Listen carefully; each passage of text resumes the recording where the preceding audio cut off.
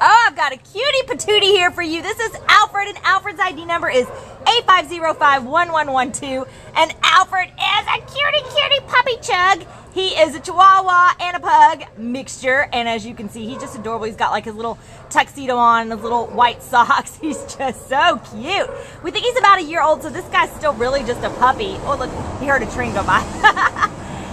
and he unbelievably came in as a stray on April 17th from West Covina, and he weighs all of 11 pounds. Um, you know, he might grow a bit, but as he's as he's a year old, you know, he's still gonna have that cute puppy look probably forever. He's great on a leash already. Um, he's got you know a nice medium, fun energy level. Super sweet, super friendly. He loves to be held. In fact, he will turn around and put his paws on you and ask for it, like pick me up and love me. He just loves human companionship. He loves treats, and this guy is gonna make a great, great family dog. So if you are looking for a buddy like Albert, then come on down to the Baldwin Park shelter and see this curly tail and check him out in his little tuxedo and you can take him home with you today.